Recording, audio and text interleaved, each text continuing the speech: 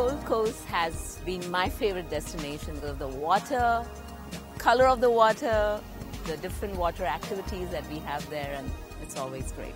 Beautiful beaches, uh, wonderful climate, good shopping.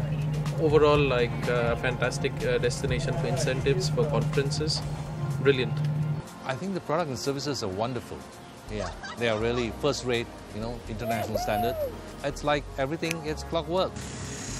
The experiences in Tangalooma, which have a lot of wow factor, the thrill about of handling a four-wheel drive through all the terrain, ups and downs, curves and turns, it's another thrilling experience. Australia has been always been a destination because it's fantastic food, fantastic location, fantastic beaches. It's a destination that a lot of companies would love to do. And to top it all, we see things like uh, the shipwrecks and makes this place a very unique destination. You have many, many attractions here. And you know, every time it's something new. Like, I love the O'Reilly the most because it was bringing me closer to nature. The rainforest walk was great, something very different from what we've seen in other countries. Gold Coast would certainly rank high above, probably amongst the best in the world in terms of uh, incentive locations.